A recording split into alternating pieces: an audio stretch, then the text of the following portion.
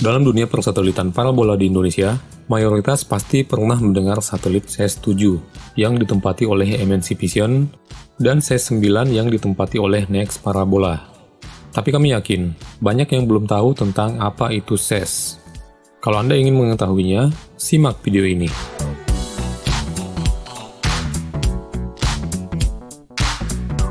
Halo, selamat datang di channel ini. Channel yang bisa menambah wawasan Anda tentang dunia televisi dan satelit parabola. Oh ya, sebelumnya kami telah membahas hal serupa tentang sejarah ini, yang link videonya di deskripsi.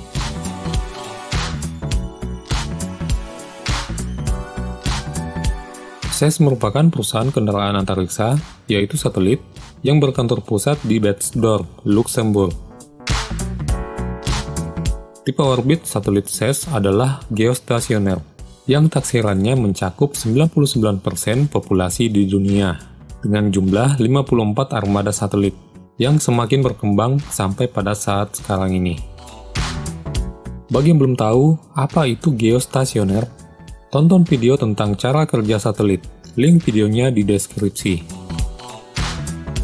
Awal mula pembentukan SES diwarnai kontroversi terkait perang satelit antara Eropa dengan Amerika, utamanya dengan negara tetangga Luxembourg, yaitu Prancis, yang mengkhawatirkan perusahaan satelit baru ini dapat menjadi kendaraan untuk imperialisme budaya Amerika Serikat.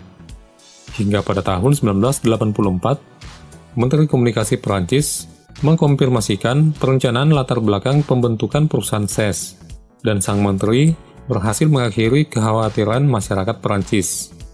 Sehingga pada 1 Maret 1985, di Luxembourg, didirikanlah SES sebagai operator satelit swasta pertama di Eropa. Pada 15 November 1985, terbentuk kontrak kerjasama antara SES dengan Arianespace, Prancis. Isi perjanjian yang ditandatangani oleh Frederic de Ales, Presiden Arianespace, dan Cornel Brook, Ketua Dewan SES, yaitu perjanjian peluncuran satelit Astra 1A yang dijadwalkan diluncurkan pada April atau Mei 1987. Akan tetapi, karena adanya kegagalan suatu peluncuran di tahun 1986, atau diistilahkan dilarang untuk lepas landas ke angkasa, tanpa batas waktu yang ditentukan dan hal ini karena kegagalan peluncuran pada 1986, menjadikan pihak SES menyempatkan waktu yang ada sebagai waktu yang digunakan untuk tujuan pembangunan konstruksi fasilitas kendali satelit di Betzdorf, Luxembourg. Dan pada bulan Juli 1987 adalah saat dimulainya pengoperasian Betzdorf Satellite Control Facility, disingkat SCF, milik SES di Luxembourg. Pada tahun 1988, Arianespace telah dapat menawarkan SES slot peluncuran baru untuk Astra 1A, dan perencanaan satelit Astra 1A diluncurkan per tahun itu pula. Dan pada bulan Juli 1988 tersebut, tertulis dalam sejarah bahwa Sky TV Rupert Murdoch adalah penyiar swasta besar pertama yang mendaftar ke Astra 1A dengan kontrak selama 10 tahun dan sekaligus memesan empat transporter di satelit Astra 1A. Bertambahnya kesuksesan Astra 1A pada masa itu karena sebuah perusahaan bernama yaitu Amstrad memproduksi parabola dan receiver atau decoder sebagai peralatan penerima satelit dan berkontribusi pada kesuksesan Astra.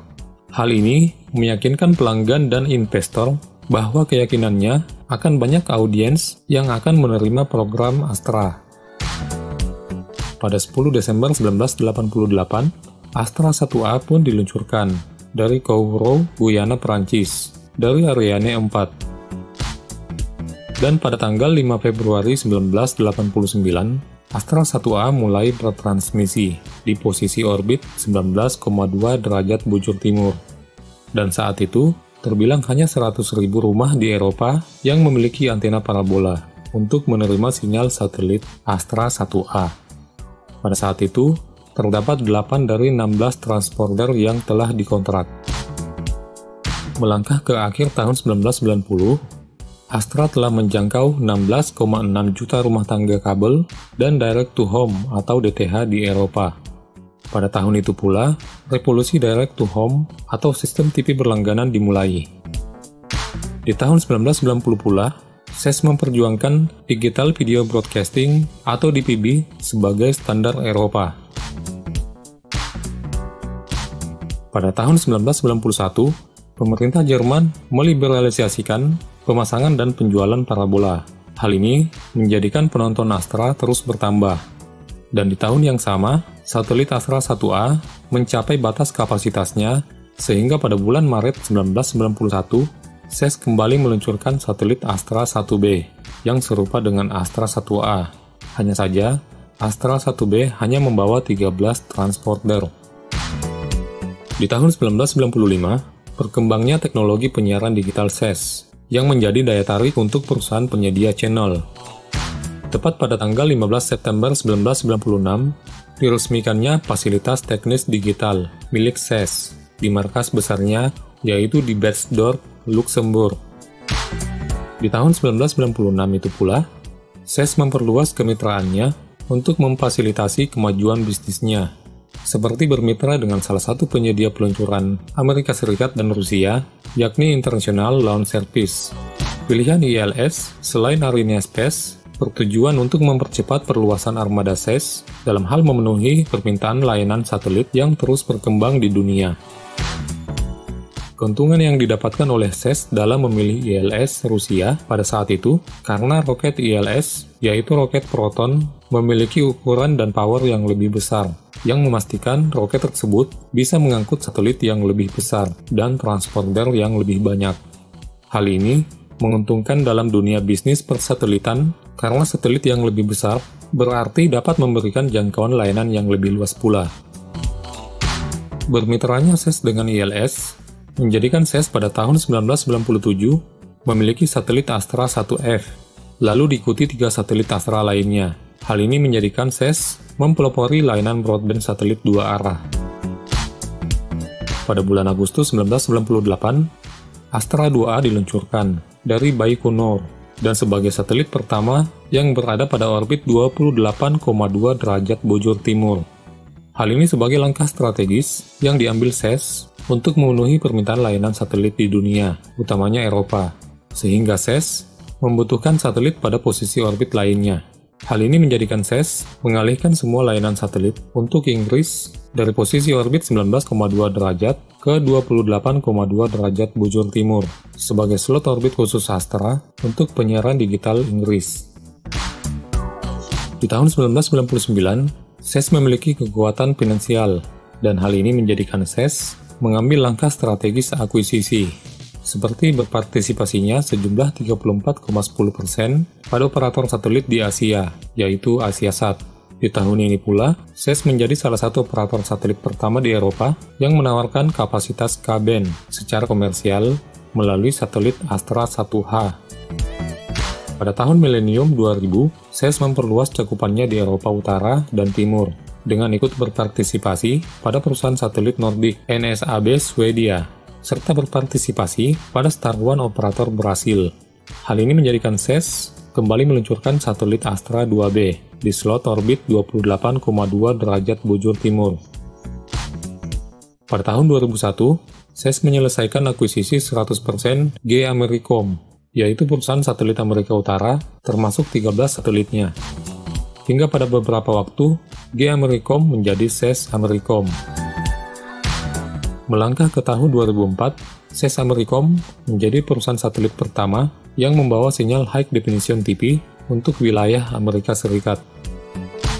Pada tahun 2005, SES semakin aktif dalam layanan satelit dan penyedia solusi kepada pemerintah seperti SES memiliki divisi khusus dalam penyediaan solusi dan layanan satelit khusus pemerintah dan militer Amerika Serikat.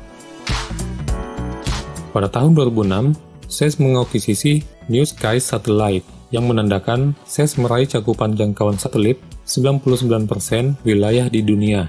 Di tahun itu pula, SES memperkenalkan layanan Triple Play Astra to Connect sebagai teknologi penggabungan penerimaan TV, telepon, dan akses internet.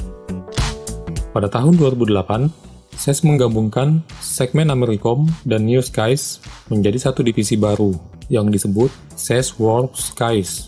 dan SES Astra di Eropa membuka slot orbit 31,5 derajat bujur timur, serta Vietnam Telecom International yang merupakan operator satelit Pinasat Vietnam, memilih SES melalui anak perusahaan SES, yaitu Astra Techcom, untuk penyediaan pusat operasi jaringan Pinasat. SES bekerja sama dengan Samsung, menyiarkan konser Linkin Park berformat Ultra HD secara live. Dan pada tahun 2015, SES dengan Passion One Television LLC meluncurkan saluran Ultra HD global pertama di dunia. 2017, Dikutip pada situs resmi SES, bahwa SES mengantarkan babak baru sejarah antariksa, di mana SES menjadi yang pertama meluncurkan satelit pada roket Falcon 9 SpaceX. Untuk sorotan sejarah SES lebih lengkapnya, Anda bisa baca di situs resminya. Linknya di deskripsi.